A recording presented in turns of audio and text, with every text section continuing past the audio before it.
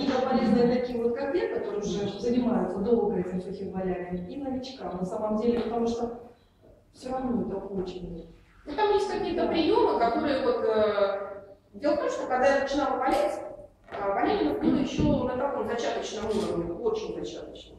Я начала болеть пять с половиной лет назад. Есть это было достаточно давно.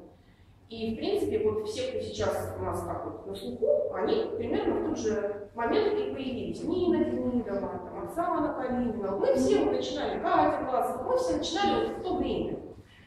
Вот. И так как мы, нам как бы ни с чего было взять, материалов практически не было.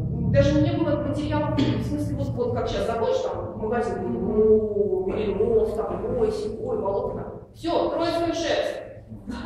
17 цветов. Хочешь, валяйся. Ну, то есть вот гамма, иглы гамма. Я когда звездочки первый раз видела, у меня просто, знаете, космос. Я попробовала.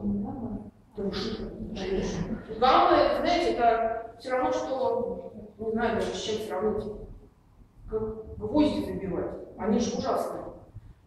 Вот. А звездочки это тонкий инструмент. То есть нет, это очень-очень гамма не было. Вот, а я начинала с гаммы, то есть у меня было с чем сравнить, я очень была впечатлена разницей. Вот. И, и не было, не было мастер-классов в сети. Таких, знаете, были такие страшные мастер-классы, что они не вдохновляли.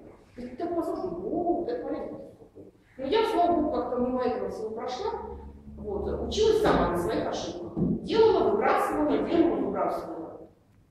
А иногда не выбрасывала. То есть, ну, вроде ничего, оставляла. Что-то лежало годами, потом возвращалась, вынимала, собирала. Что-то переделывала.